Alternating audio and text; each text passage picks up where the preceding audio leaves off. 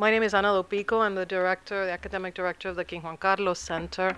Um, and it's my pleasure to do today to um, welcome you uh, to a space that's the, whose walls are being taken over uh, intellectually and uh, in terms of our of space uh, to think about the politics of space and incarceration and activism. My role today is to introduce uh, Marisa Belausteguigoitia, um, and I dare you to say that four times fast um, who, who we are extremely honored and delighted to welcome this semester and this year as the Andres Bello Chair at the King Juan Carlos Center. The chair, so, so that you know, is uh, bestowed once a year or once every two years to a leading scholar, artist, writer uh, that works on Latin America and is named after the, the public intellectual, philologist, constitutional scholar, uh, writer, uh, Andres Bello. Um, it was established as an endowment and allows us to bring remarkable scholars whose work uh, from throughout the Americas um, rests here with us and involves our graduate students and our and our public. So I'm going to tell you a little bit about Marisa, though many of you may already uh, know who she is, um, but it's only fitting that um, that we welcome her and her and celebrate her qualifications.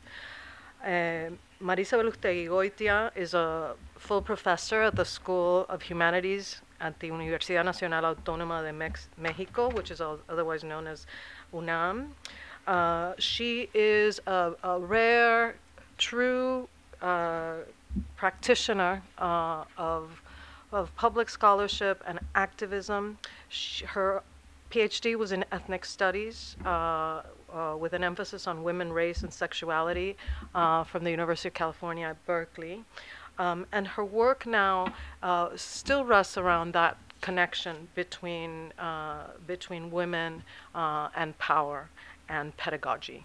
Um, and the connections between institutions that discipline and hold the lives uh, of, of women um, she is not only a full professor at the UNAM, but she's advisor to the Comisión de Derechos Humanos del Distrito Federal, that's uh, the, the city of Mexico.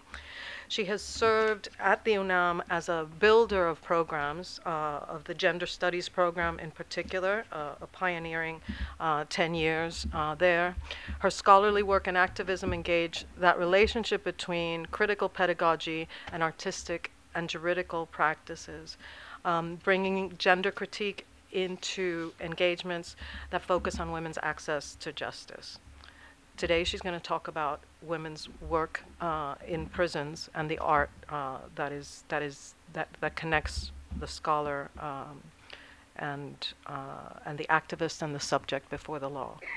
Professor Belausteguigoitia is director of the project Mujeres en Espiral, Sistemas de Justicia, Perspectiva de Género y Pedagogías en Resistencia, which we can translate as Spiral Turns, Juridical Systems, Gender Perspective, and Pedagogies in Resistance. Uh, an academic and activist initiative that fosters women's access to real justice through practices, through the law, through interventions in prison. That project, Espiral, Mujeres en Espiral has produced a, a, variety of visual, textual, and legal and juridical material, from murals in prisons to fanzines to documentaries and short films, uh, amicus curiae, benefits for women in prison, reports on violation of, of rights uh, in female prisons, among others. And she's created the clinic uh, of public interest, the Clínica de Interés Público Marisela Escobedo, uh, a clinic that works with cases of female uh, mistreatment by, by women before the law. Um, she currently the, cl- the, the clinic Marisela Escobedo, um, the legal part of the project that, that Marisa directs is working on three cases of women mistreated by the legal system in Mexico, and is uh, its cases are waiting to be resolved right by the Corte Suprema uh, in Mexico. So this is someone whose work extends constantly beyond uh, beyond the university and brings its authority to, to intervene in the lives of, of everyday folk, but also in, in the legal history and precedents of, its, of, of Mexico. her, her, her work, which is interdisciplinary uh, and, and spans an extraordinary writing uh, and publication um, record, which I can go through in a minute, but I'm going to hold back at her request a little bit, um, to, to being a filmmaker. Um, she has won a series of, of awards um, and recognized in the Academy and by activists and by human rights institutions. She won the first the first prize, uh, Mujer y Publicidad, uh, in Guadalajara for a campaign that was created by the gender studies program she directed. So when you ask yourself, how does activism work? How does the university create the possibilities for interventions in civil society? You can sort of read Marisa's biography. Um, uh, I, I want to cederle la palabra, and but before then, I, I want to just tell you some of her books so you can look for her for her work. Um, uh, sh- her edited volumes and books include Critical Terms in Caribbean and Latin American Thought, um, in collaboration with Yolanda Martinez San Miguel and Ben Sifuentes, Desposesión, Dispossession, Gender, Territory, and the Fight for Self-Determination, which was edited with uh, Josie Saldaña, who's a professor here and is, is teaching uh, with Professor Belausteguigoitia this semester, Pintar los Muros, Deshacer la Cárcel, uh, Murals in Female Prisons, which is published by UNAM, Pedagogías en Espiral, Spiral Pedagogies, Turns in Gender Study, and Critical Theory. Um, and Race and Gender in the Creation of New, New Worlds, which was published in 2009. Uh, Marisa is also, to me, has, has, made an extraordinary and precious contribution by translating, teaching, and researching the work of Chicanas and Chicana theory. She's the, the translator of uh, Gloria Anzaldua's Borderlands La Frontera, uh, and, and the work of Chela Sandoval. Um, during her stay, she will she is teaching uh, a graduate called called graduate course called um, Art Activism and the Academy. Um, and she is organizing an extraordinary symposium uh, called Critical University Critical Dissidence, which we hope you will be able to attend on April 25th and 26th. Today, she's going to introduce uh, one of her works that come from her life and practice as a filmmaker. Um, and I'm not going to talk about it in detail because I want Marisa to, to introduce um, this this remarkable project. Um, it, it, it's it's humbling to, to welcome someone who's uh, who's the real deal, who's who's who's actually transcended uh, all the theorizations, uh, all the the trajectories that the academy prepares you for, and puts it uh, into the service of justice. Um, so it's my, my pleasure to introduce the Andres Bello Chair for 2019, Marisa Belausteguigoitia.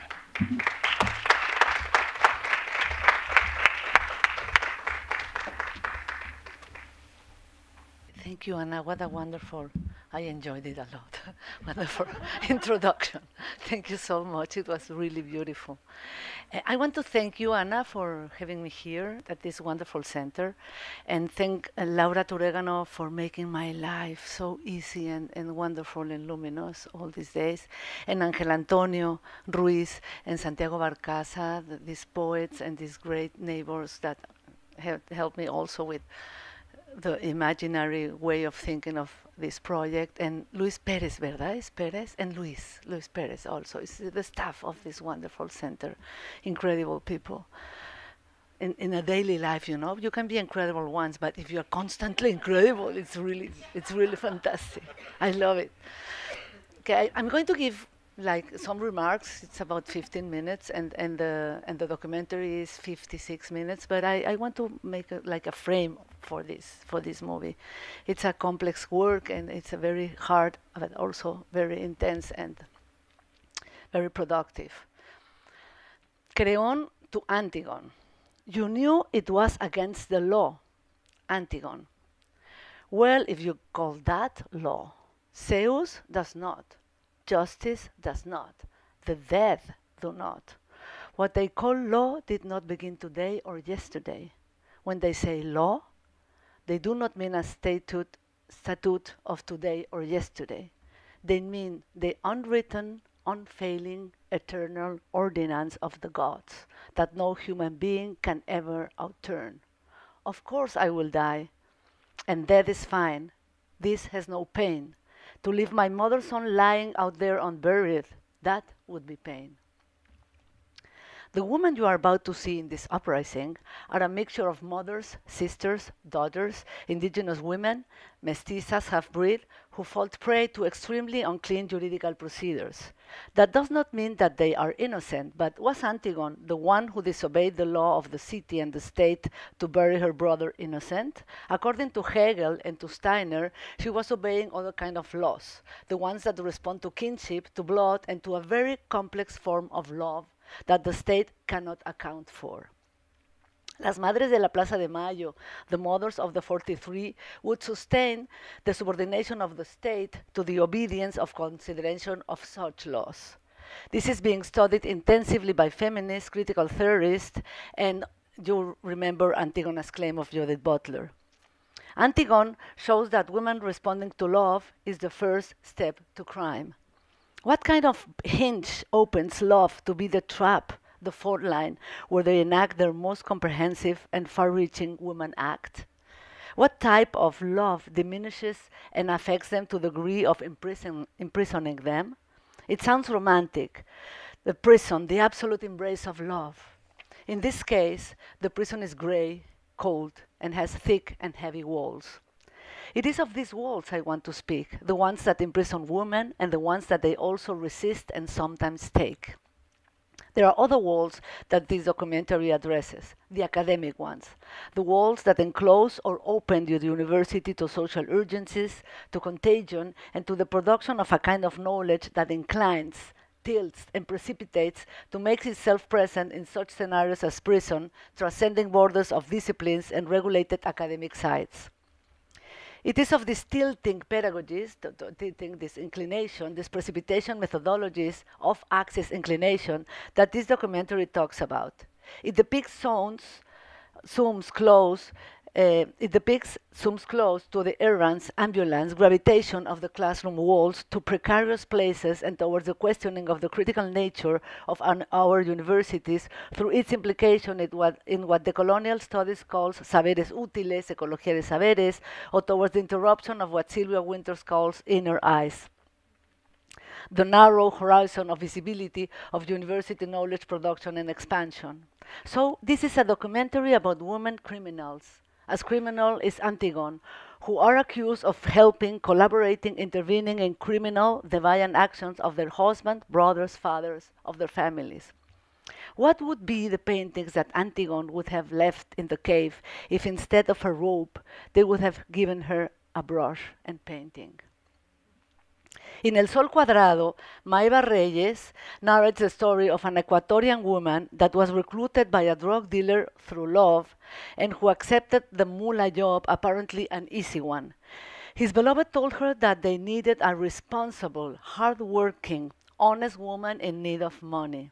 At the moment when she had to swallow the pills, she, she was alone the pills would, of course, the drug, no? They left me alone in the room and, want, and went to talk about business. They believe women are not to be there when men are together, and mostly when they talk about business.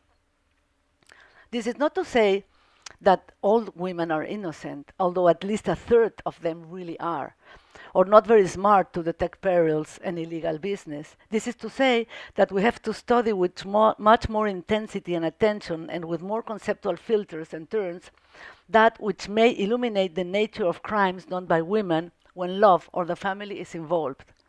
And most of all, the notion of family, love, and care from a gender perspective and the sexual gender division of labor in criminal scenes. Women are visible, caught flagrantly, the most vulnerable link of crime organization. They get little money, risk the most, and end up, and end up in jail. Men normally work hidden, they plan, get the money, and are not caught, at least not flagrantly.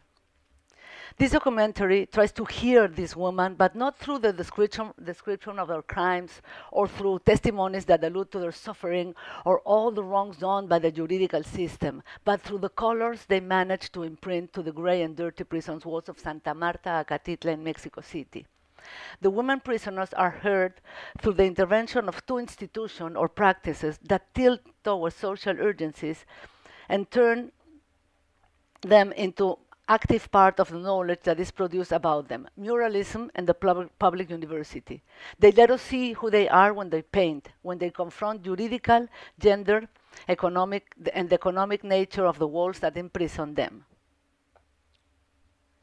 Although the context and meaning of murals vary, two functions endure educating and arousing, enchanting, giving pleasure.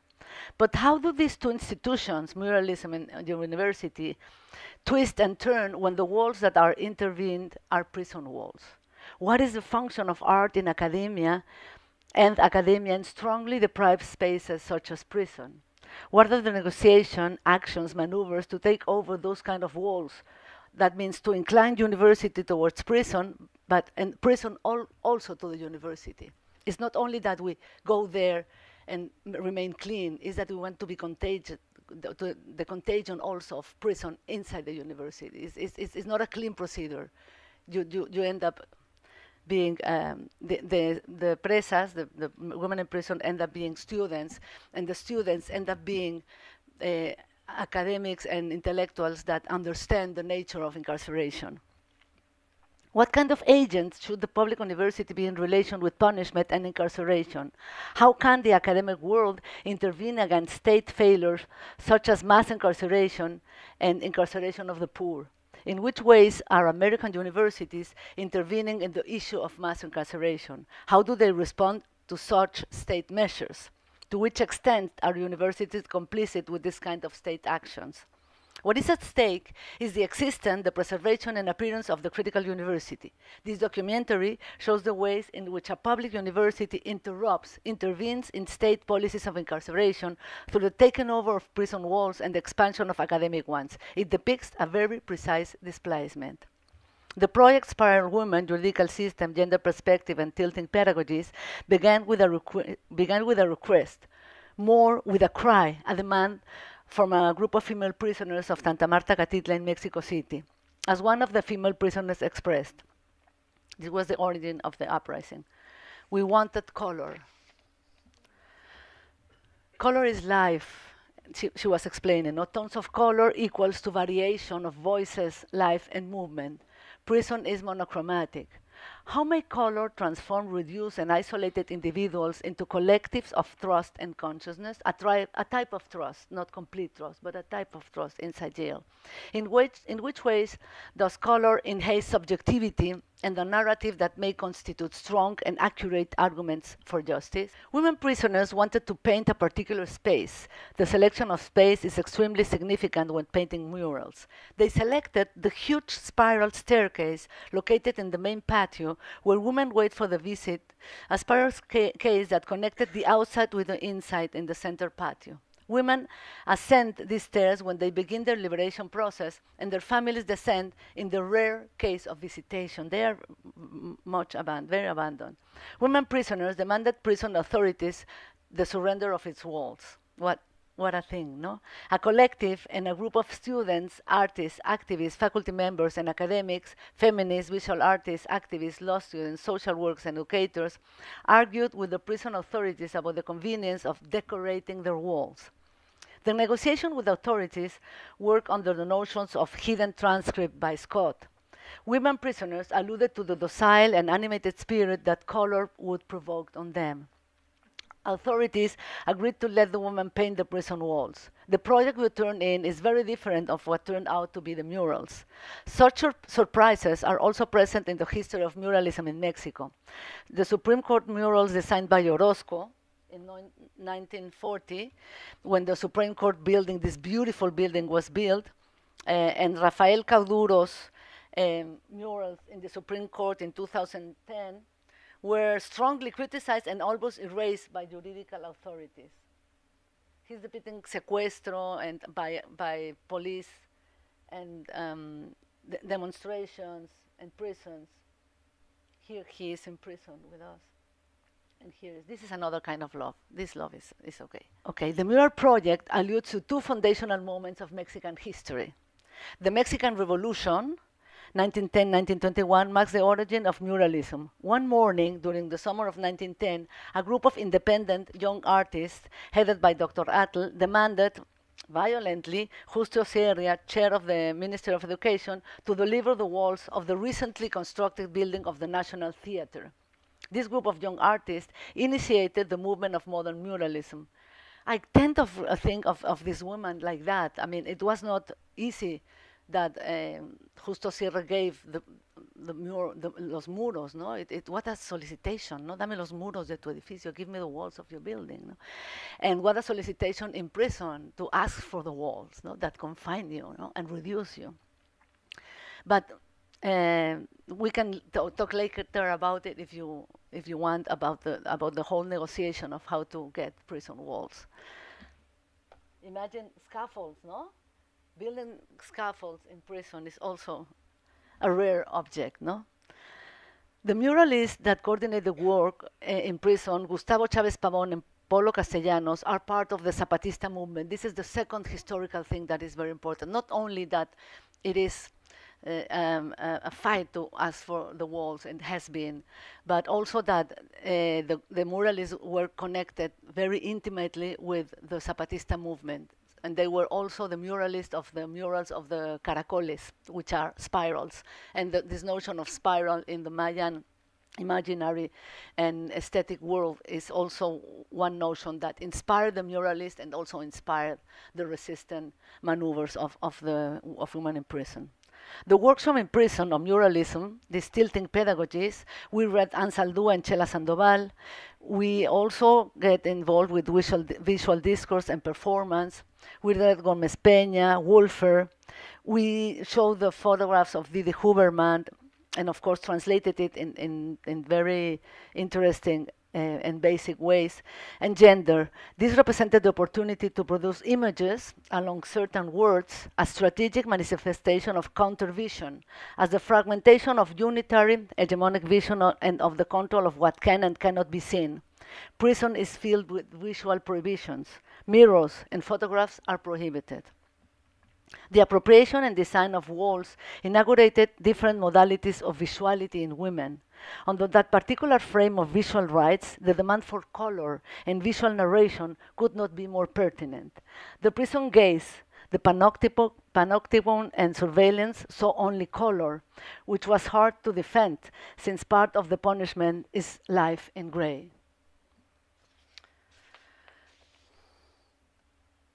Women prisoners named the first mural The Cry, and the last, the fourth, Collective Actions Towards Justice. From cry, de demanda llamado, to action. In between, we build strength, time, and hope, fuerza, tiempo y esperanza, and forms and ways of freedom. This is the, the third one. And this is the apando, el área de castigo, donde, where they reduce women when they take drugs or are caught by taking drugs or, or, or they're disobeyed. They, and we we paint that zone, which was very interesting because we they were collaborating. And we didn't get this in the movie, but they were crying through the barras and saying, put that color, pásame el pincel. And we're looking through that angle of vision and participating in the, in the design of the third mural. In the midst of the process from the cry to action, we detected a very dramatic and interesting case that could be part of the strategic juridical litigation done by the clinic Marisela Escobedo. In the fourth mural, um, it, we were painting for four years, almost five, and uh, we got the the moment. It's explained in the in the documentary to build a clínica de litigio estratégico. So not only the poetic justice and not only that the women would uprise and stay on their feet and talk in a meaningful and strong way, but that we have lawyers there and that we have a space where students could be educated and formed in a twisted way. Pedagogues, anthropologists, sociologists, uh, human rights fighters and law students were formed in this in this clinic and were actually we had classes inside prison with with the women there. The mural appeared appealed for the construction of. Oh, I, I was about to tell you the first ca case that we that we selected was Karen, the, and we call it the evil mother, a young woman accused. The name of the delito, the the the crime is incredible. Se llama así asesinato, homicidio, en razón de parentesco por omisión. That means homicide, being a family, Omisión is by omission. So uh, you don't do, you cannot do nothing to to prevent the death of your of your child. So you are accused in the same measure as the the one that. It's not uh, no. It's, it's that you didn't do uh, anything, and only women are accused of this crime. There is not a single man have been accused of omission, No. It has to do with negligence, but is is is uh, that you ca- you you cannot prevent. No, and this woman was in in another place, and I mean they they expect that women should be there 24 hours to protect their their kids. No. It's amazing. This mural appealed for the construction of a, collecti- of, of a collectivity of women inside prison accused of abandoning their children. There were a significant number of women accused of omission and of being like it's not complice. It's this is these are different delitos, different crimes. It's it's being that you didn't do nothing. They accuse you of doing nothing. So the, these women in the first uh, mural, they they created a, a, collectivity and they paint each other's um, drawing and they they talked and had conversation, of course, about the colors and the forms, but also about justice and their cases. No? So this uh, conversation of content and form and justice arose by contiguity, uh, what Rancière and Deleuze call pictorial dia diagrams. Women in prison are advised to stay away from each other. The fear of becoming the other, this unwanted woman that has been punished, is interrupted through the act of painting as giving collective as giving collective form to woman visual horizons. This was the third mural. This is the fourth. And, you see the, the panoptic tower. So when we got close to, to the exit, close to the panoptic tower, more observed, there was when the clinic was born. Women do time defeated, dislocated by guilt and time. More than 80% are in between 18 and 35 years old, and 86% are mothers. They have left behind in between three or six, maybe more kids, each one. In a high percentage, they are the bread providers, providers of the home. Only 3.6 of the sentences could receive an alternative punishment to prison, of almost 100% regarding petty crimes, most, more, much, most of them related with addiction and participation in narcomenudeo, in, in selling drugs, no? But it's, it's very, very small portions. In reality, the wrong done, as this first mural mural underlines, signals the effect of being constructed as a woman.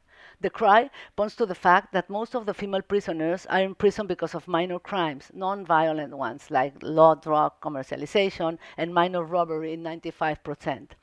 The incarceration of women in Mexican prisons is unbelievably high, and the use of prison is, is abusive. During 2013, 96.5 of guilt sentences led to imprisonment. It's, it's more than Scotland Yard, no? They caught it and, and it, it's responsible, no? It's the, the most efficient police in the world. Only 3.6 established alternative sanctions, like brazaletes, bracelets, uh, or fines or reparation. The creation of a community of emotions of solidarity, counter narration, and the colonized visualization, respect, and collaboration, which are strongly interrupted in prison, are specifically targeted by this project. The ability developed by women to assemble a visual understanding of the immense injustice they suffer speaks of the way in which women transform the prison terrain from one of severance and punishment into a collaborative one, a whole juridical, aesthetic, and cultural uprising. What I found silent in this uprising was the demarcation of irregularities in their juridical process parallel to the ways in which they rise, resist, and transform the territory of prison into a space with tones of collaboration and calls for justice. We end up with four murals, four uprisings of voice and gaze, four revelations against separation and around interruption of the ways in which time and space was experienced in prison. The cry, time, hope, and strength, path and ways of freedom and collective actions for justice. We began with an expression of indignation, dispossession, and abandonment, and ended with a clear call for justice. Thank you. So now we can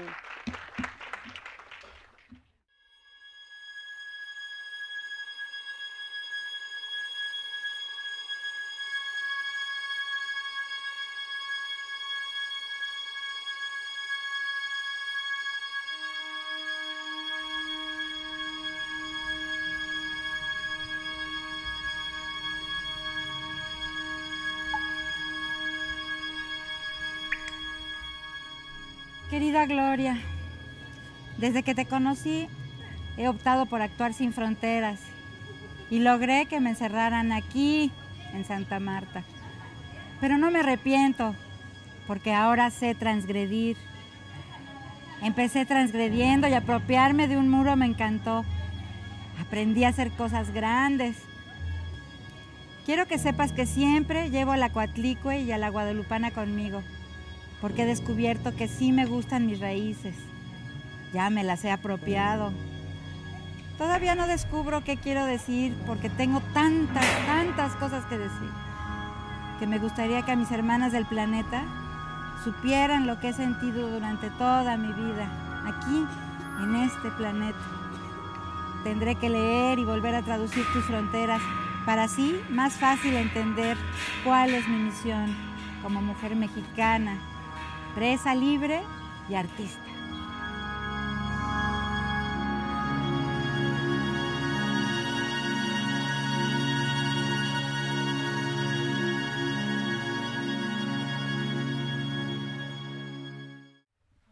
Thank you. yeah. I really enjoyed that that production. So, uh, questions or comments? First, thank you for that. The project is beautiful, but I wanted to ask you I guess that the clinic keeps uh, providing legal aid right now, but does the art component have some sustainability? Have you continued working with those women? And the second question is you the clinic does the clinic or the university provide support with the reentry process of the women to La Calle? Yeah, great. Thank you. Uh, sustainability, it's very hard to sustain a clinic.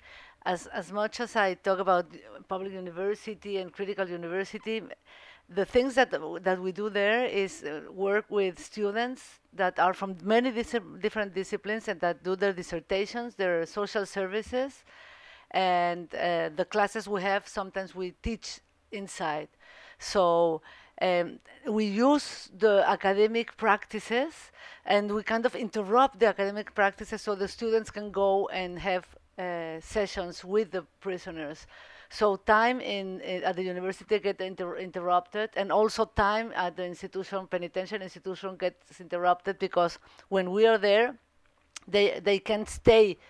Normally, their their day gets interrupted in four times because they get into call to roll, and when we are there, they have the the experience of continuous time and the students have this fragmented time to go back and forth to the to the, to the prison. So that is doing fantastic things that I'm trying to explain and understand. Time and space displaced, the university merging into the prison and prison merging into the university. University authorities are always uh, saying the work is fantastic and we are incredible, and they are giving very little they are okay they are allowing us to go there. They are not sanctioning the students that lose for example their classes on Monday they help them to to fail some classes. And the yes the experiences of of like changing this institution in the way of uh, they allow us to do all of this. I don't know how we deal with the prison authorities that, that they allow us to do all the things we do we film we are friends of the whole policeman and we it's it's very strange i think we could not do that in the us prisons uh, there's there's something very interesting por favor Marcel. and and the the clinic support uh, Inmujeres, the Minister of, uh, of, of, Gender gave us money, and the Commission of Human Rights. We are always seeking for money uh, elsewhere. And the, the university give us letters and supports and palmaditas en la espalda and allow us for, for keeping our job. But I think now, they, after the cátedra, Ana, they are going to help, I hope in la calle we do uh, in a very disorganized way we help them. The students get uh, friends with them and they invite them to live in their places. Students uh, accept their places. It's it's a whole not organized not institutional. It's because they become fr become friends and they they incorporate it in their families. We have nothing organized in la calle no? Sí Marcial gracias.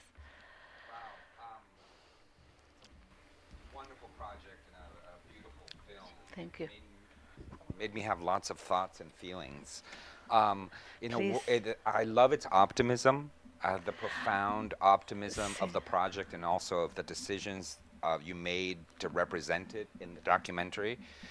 Um, I think it's kind of this kind of oda de amor. It's this love poem to Mexico. I mean, all I kept thinking was at every turn, how and why this is impossible in Chile, how and why Yeah. this is impossible here, how and why this might be impossible anywhere else in the world where people have kind of referential universes. Um, how you know i mean and so it really i saw it as a note of love to like mexican institutions at a moment when such optimism is like you know kind of just It's is- is ridiculous but amazing like a leap of Yeah. kind of utopic kind of exaltation of, of the of the Mexican Public University, of that kind of national post-revolutionary Mexican culture that lifted muralism and made it into a national art form and placed it into all the Yeah. buildings that matter and taught it to every student through its kind of public education so that then there's a genre that the guards and the artists and the professors and the, and the women who are imprisoned have in common.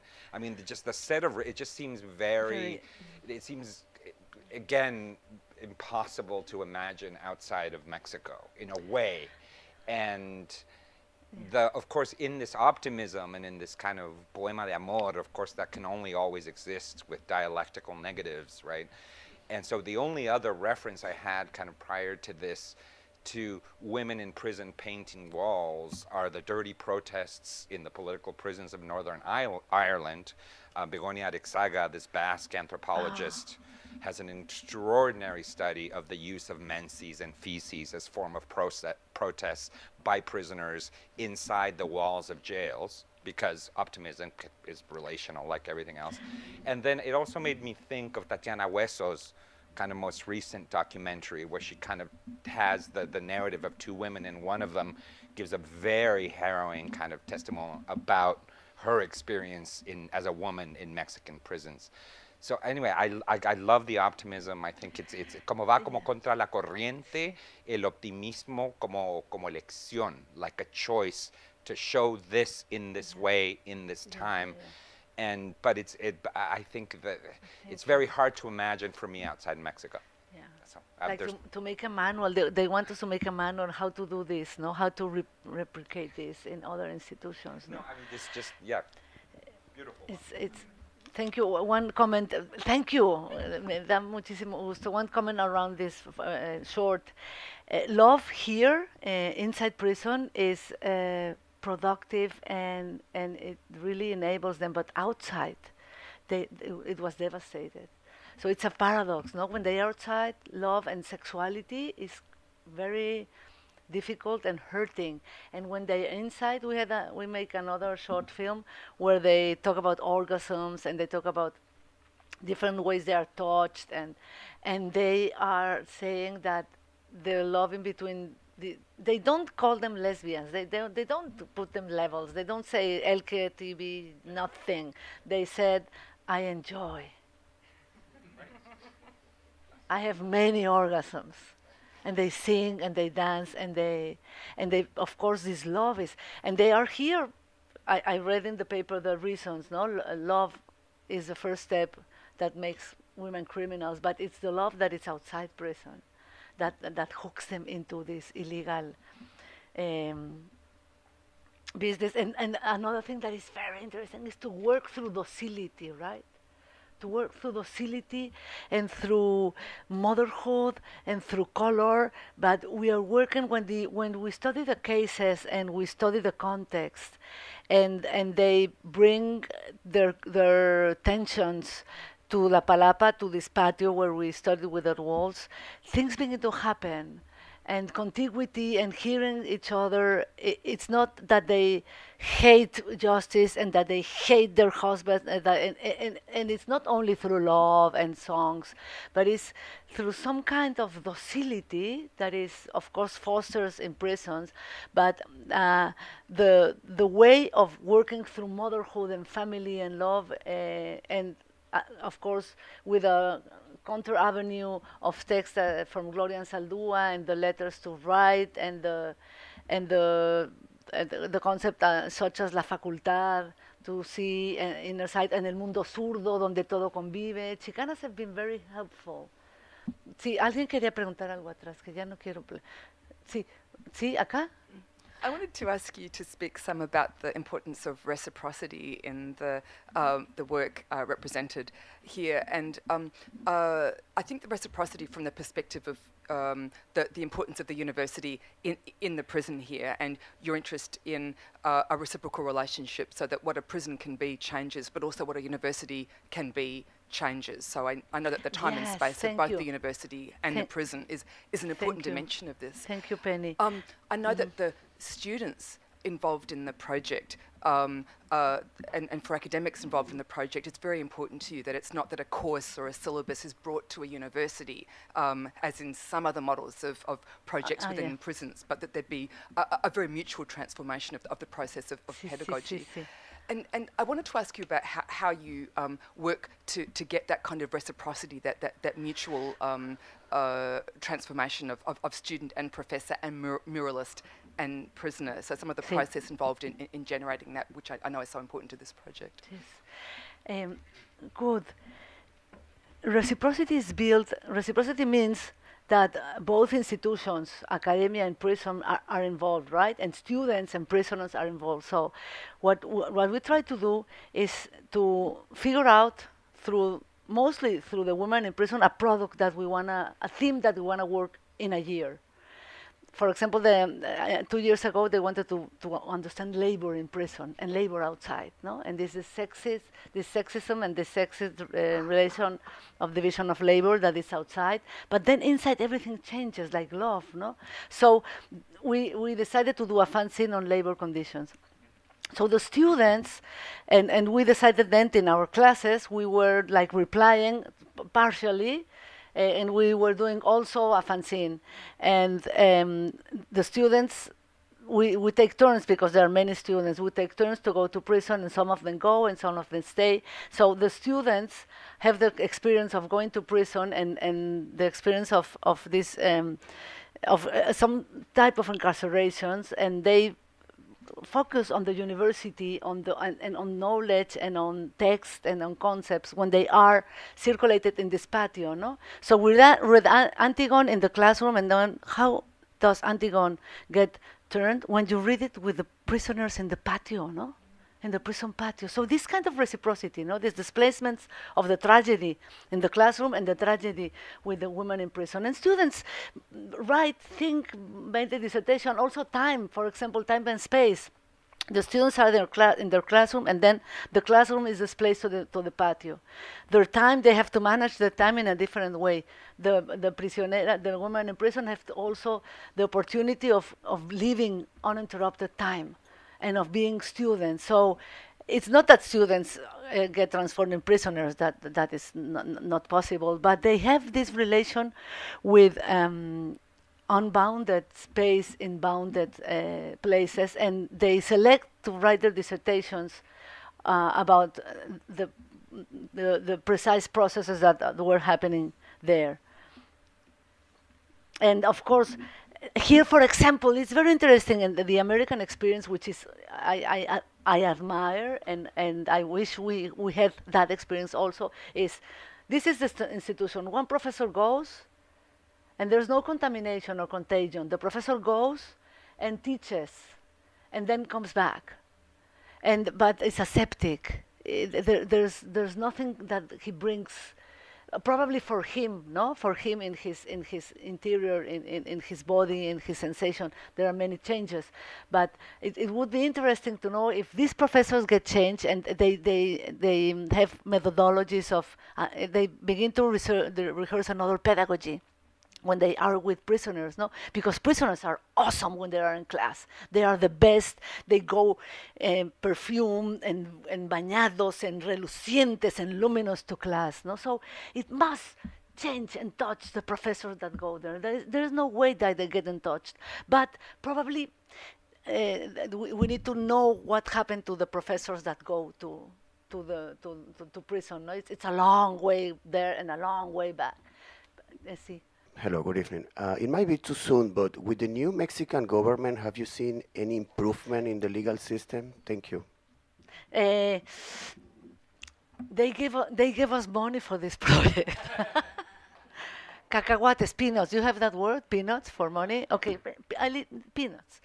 Uh, no, do you know what they did? Of course, they. I, I'm so thankful they give us money, but do you know what they did? They, uh, oh God, they, they expanded prison in order to get uh, the the bad guys, in order to issues on security. They made go to prison more easier. So they they uh, only pointing is the reason, and they are also loading uh, and putting more years to to to misdeeds. No, they they don't understand nothing related to prison. They understood our project, thanks God, but. Uh, that was in the city, right? In the city, the, it's another thing, Mexico City. Thanks God. The governor, no, la jefa de gobierno is, is, a, is an academic actually. It's an engineer. So she's understanding things better.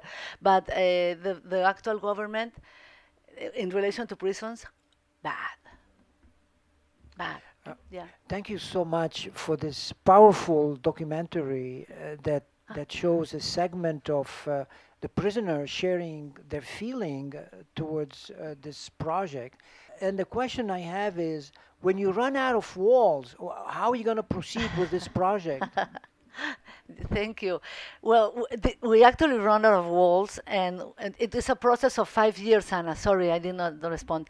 Almost six years of painting, uninterrupted. But we, we then, from the wall, we transit to paper, and they make the transition. What does it mean? And we did fanzines. And then we, the, we did diccionarios caneros. The language in prison is really awesome. It's a, a lot of different words get constructed. Sexual words, relation to drug, to drugs. 48, cuidado 48 means that the, the police is coming to get your drug. And they have everything figured out. So we did a dictionary. And we did two documentaries on Antigone and on La Llorona. They pick up these women that are bad treated, mistreated, and they want to, and we're, and, and they want to impersonate them. And we're doing this year a bestiario. Bestiario is um, a book of the 17th century where Spain, Uh, the conquerors, were painting their imaginary, uh, were giving space to their ima- imagination and, and painting animals or people as animals and all this, but, but with superpowers. And women are called mulas, um, buos in the dog in the drug dealing business. You know, there and and also gatas when there are maids. The the bestialization of women is big, so we are going to do this bestiario. They are they are figuring out the animals they want to be with their superpowers, and we have all these artists that are going to help them to to make uh, and, we are going to bring this bestiario to the Supreme Court to the ministers of justice to tell them um what are the crimes, what are the superpowers, who are these women, what is the context. It's a, it's a really it's a very joyful and very intense, uh, also many times sad uh, job. I had the misfortune of working for four months on Rikers Island in a prison, and so I, I I loved seeing the way your project empowered the women, and and seemingly brought them to life. What I'm wondering is, I didn't see like I didn't feel a context for the women, the suffering. It seemed so uplifting. Most of the film seemed so uplifting and mm-hmm. how they were transformed into a feeling of more power and understanding. But what was their life like? Like how how many women out of the whole the whole prison? How many did this represent? Yeah, yeah. Yeah. Thank you for that question. You know, uplifting is big. They, they, they go in the scaffolds and they actually uprise, no? So this this precise five years, every week, the overtaking of the world was something extraordinary. Of course, they have a lot of problems. They eat very badly. They don't have water many times. They, it's, it's very dirty. They have a lot of insects. The, the health service is lousy. They have problems with their teeth. They have problems with their feet. They have problems with uh, their eyes. They, they are very sick. They are uh, also very nervous and they take a lot of drugs and and uh, they they take in, they inhale and they have a very cheap cocaine. It's bad. But uh, 1700 uh, Um, and uh, we work with almost 300 in the five years. Some of them were there and did, did that a little bit and, and went off, and we counted them. So probably the ones that work, work, work were about 60 or 50 in the, but it, it was like a centripetal force because they called for, come on, you can, you can draw something. And they were helping each other to do the designs. And this kind of conversation on your design and my design, your case, my case, your husband, my husband, and then, of course, your mouth, my mouth, your hand, my hand. And it, it developed a very interesting uh, body contact also. No, that was also interesting. So is, this is an ongoing project. sí, till today. We're doing the bestiario. Right. How do you translate bestiario? Bestiary, a bestiary. Bestiary. It's a, it's an, uh, it's a, I think it's a great idea because they are always related to animals, no? And they bestialize them, no? I think this has Yeah. been one of the most remarkable, and we've been to a few, uh, Thank you. Oh man. Andres Bello and KJCC presentations. Thank Thank, you. you so much, Thank really. Ana. Thank you, everyone. Thank you.